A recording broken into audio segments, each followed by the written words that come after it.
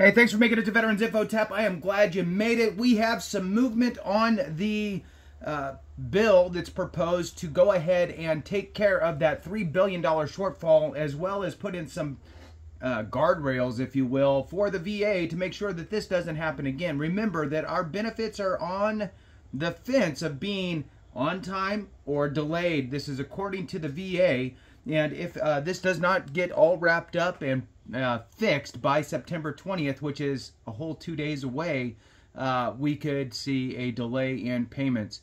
Yes, the VA gets funded, you know, for future, but the problem is, is that uh, the their budget was not um, appropriate for this. So three billion uh, shortfall uh, could result in a disaster. So before we jump into it, wanted to throw out a real quick thank you to Wild Willie to you. Wild Willie to you. Thank you so much for your comment, your super uh, comment. I really appreciate it. Really does help the channel, uh, and I really do appreciate it. Thank you for your membership as well, and thank you for the kind words. Uh, I do my best. Thank you so much, Wild Willie, to you. I appreciate you. All right, so this is uh, on the Hill. Now, again, today is September 18th. Yesterday, September 17th, uh, the House passes the uh, $3 billion uh, bill, uh, and now it should be moving over to the Senate, of which we hope that they can fast track this with a you know a big vote and uh, get this moved forward.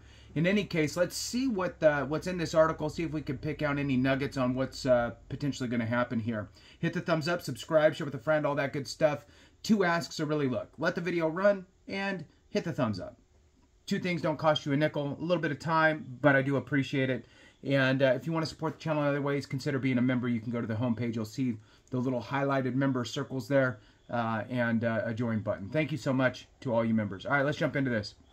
So, on the Hill, it starts off here. The House on Tuesday passed an emergency bill to address a roughly $3 billion shortfall facing the Department of Veterans Affairs as officials warn millions, and I believe the number's about 7 million, uh, millions of veterans' benefits are at risk in the coming weeks. The bill passed with bipartisan support on a voice vote and now heads to the Senate, where members on both sides are hopeful for a swift action this week. Quotation here Thankfully, the House came together in a rare moment of bipartisanship to pass my bill that prevents this disaster and demands accountability with real oversight to make sure every dollar is spent right. Representative Mike Garcia, Republican from California, a member of the House Appropriations Committee who led the legislative effort, said in a statement on Tuesday. Another quotation Our veterans deserve better than bureaucratic incompetence, and we're one step closer to fixing this broken system. Moving on, the measure calls for about $2.9 billion in funding uh, additional for the VA, which uh, of which about 2.3 billion would go towards Veterans Benefits Administration, the VBA. That's where our compensation, pension, DIC, educational benefits, all of that stuff comes from. So, 2.3 billion dollars would go towards the Veterans Benefits Administration for compensation and pensions roughly 597 million would be put toward readjustment benefits. That's like your educational stuff. Moving on, uh, probably probably the majority, my guess could be wrong, would be like VR&E, Veterans Readiness and Employment. Uh, moving on, the bill's passage comes weeks after the VA warned lawmakers that veterans' compensation and pension benefit payments as well as their readjustment benefits, could be delayed next month if Congress doesn't provide additional funding in the days ahead. The agency has cited the PACT Act, a landmark law that passed with bipartisan support in 2022, as the key driver behind the budget shortfall, pointing to increases in enrollment in VA healthcare appointments and applications benefits. The bill, known as the Veterans Benefits Continuity and Accountability Supplemental Appropriations Act, that's a mouthful, also requires the VA secretary to submit reporting to lawmakers detailing ways to improve forecasting and budget assumptions and mandates reporting on changes to estimates going forward. You would think, I'm just saying, that it wouldn't take Congress to tell the VA that that's what needs to happen, but here we are in a crazy world. And oh, by the way, the VA secretary is leaving. So if the VA secretary is leaving, I mean, obviously they'll still try to do whatever that is, but I mean, he's he's got a foot out the door now. Uh, he is not going to uh, stay uh, in that position. Um, he has basically given his notice that at the end of uh, Biden's term, uh, he will vacate the office regardless of who is in office. So, with that, let's jump back into this.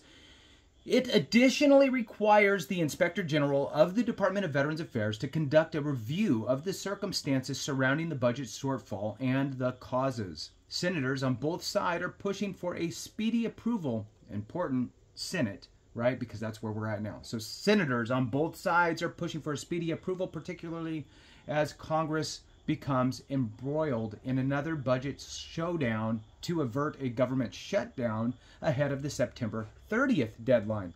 So we are just, I mean, it has been running the 90 yard, or excuse me, running the 100 yard dash in a 90 yard gym over and over and over again, right? Uh, is what it kind of feels like. So here we are, uh, again, talking about government shutdowns and uh, uh short budgets and all that good stuff. So, Senator Jon Tester, uh, head of the subcommittee that oversees annual funding for the Department of Defense, told The Hill earlier Tuesday he expects senators to make a push to get it done if the House VA bill passes, which, by the way, it did, and that's what we're talking about. We'll see obstructionists can obstruct, but I think it's a bad mistake if they do, he said. A bipartisan effort to expedite legislation to address the shortfall before the August recess fell apart amid resistance from uh, conservatives and increased scrutiny on VA funding. So, look, it's it. Here we are, in in the middle of an election year, and there's going to be posturing all over the place on both sides. Uh, who cannot um, be impacted by this is veterans. I believe that veterans are absolutely a bipartisan issue, and um, we got two days. So here we are. In remarks Tuesday, Senator John Boozman uh, from Arkansas, top Republican on the subcommittee that crafts annual VA funding, expressed hopes that the Senate could fast track the bill and pass it via unanimous consent. And that is what we are expecting, I would say. But that process can also be held up if a single senator opposes passage. It's a death sentence, in my opinion. I mean, we will blast whoever that is um, everywhere if that's the case. With two days left, can't do it. Um, so sorry, you can't. You can't. It, uh, there's no time uh, for anything else. The House has already passed it, um, and now we just need that uh, uh, passage on the Senate side and move forward. There's provisions in there with guardrails and uh, holding the VA accountable and making uh, sure that uh, reports are being uh, furnished and also additional uh, looky-loo into it from the OIG. So, I mean, it's as good as we can get at this point, and we need to move forward. You want to get a little more nuts and bolts on it, uh, use the $12 billion that's still short and work that into that. So, here we go. My hope would be quotation here, that they send it over here to the, so he's saying that the House sends it to the Senate, and we do it by unanimous consent, Boozman told The Hill. If not, then we need to take whatever time, starting immediately, to get it passed. The VA has been pressing to receive the additional funding by September 20th, putting pressure on Congress. Now, look, the way this sounds is it almost sounds a little bit unfair I think, to Congress in this situation because the VA originally submitted its budget request. I don't remember what month. We'll call it May, May ish. Submitted its budget request. Cool. We're good to go. Here's the numbers.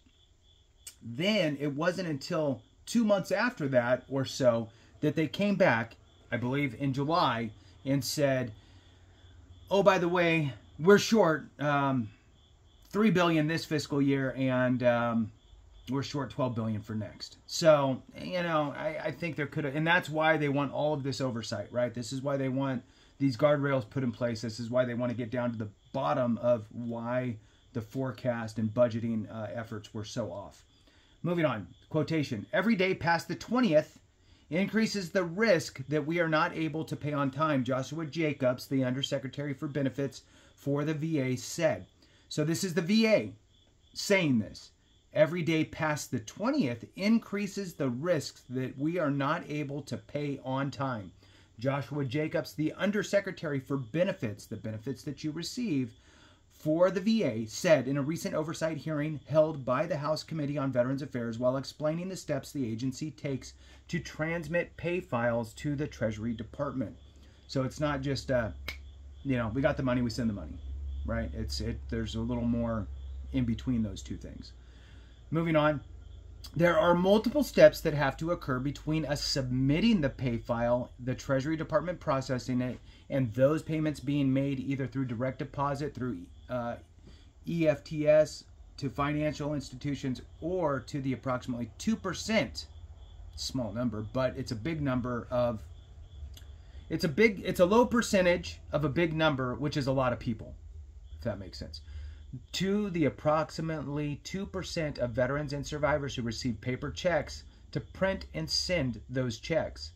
We do have some room built in because occasionally there are challenges with those pay files that we have to fix and then correct before we transmit it, he said. But it's very hard to go back and recoup those monies after we've submitted it. I will also add we have the ability to accelerate the timeline for direct deposit. It does come with an additional risk. The real challenge and the real length of, and process is those veterans and survivors with checks because that process is time consuming and particularly for veterans and survivors in rural areas there may be a delay for up to two weeks so that's it that's where we're at we are now waiting on uh, the senate reach out to your senator's office. They all have cell phones. They all have uh, that capability. I believe me. If if a senator's office received a thousand phone calls about passing this piece of legislation, uh, and they were thinking that they wanted to be, I don't know, on a soapbox about it, they'll probably sit back down a little bit and just vote, right? So make the phone calls, send the emails, the uh, staffer there that handles this stuff will go, oh, wow, we got this huge influx. I'm going to send a text to the senator so they're aware they're, they're getting a lot of constituent uh, um, vibrato, if you know what I mean. So, with that, thanks for watching. I appreciate you. Have a great one. And remember, if we don't take care of each other, something went wrong.